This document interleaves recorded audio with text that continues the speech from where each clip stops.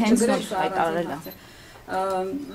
Շահարկումներ կան, որ վերջին շրջանում դուք հանրահավաքներին չեք մասնակցում։ Ինչն է պատճառը։ Լսեք, մի, մի բան ասեմ, հա։ Ես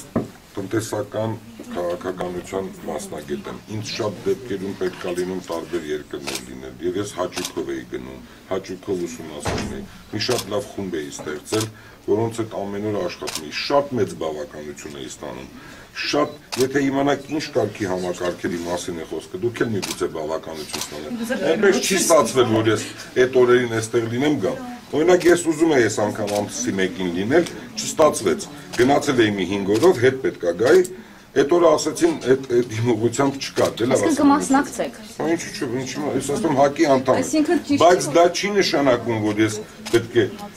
այդ հանրահավաքներին, չգիտեմ, Հա, այո, ես հակի անդամ եմ, բայց ինձ հասկանում եք, էլի, ուղղակի որ ասում եք, Այդ ամենը մի հարցում եմ տալու առանձին։